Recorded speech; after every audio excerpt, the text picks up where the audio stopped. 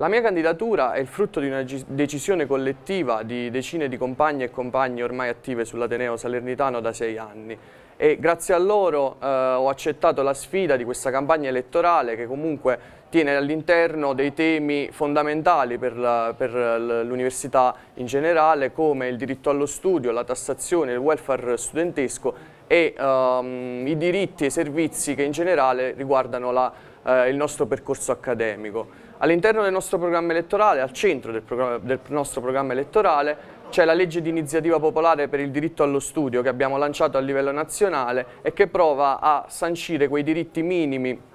Um, per il diritto allo studio che possono essere un avanzamento serio e reale per quello che è il welfare studentesco e, e la, la, condizione della, dello studente universitario italiano. Um, quindi io vi chiedo il 18 e il 19 maggio di barrare il simbolo link liste indipendenti per permetterci uh, di proseguire questo progetto politico che da Salerno possa portare le istanze uh, degli studenti che provengono dal basso fino agli organi più alti della rappresentanza in Consiglio nazionale degli studenti universitari. Quindi il 18 e 19 maggio barrate il, il simbolo link e scrivete Francesco Curcio basso.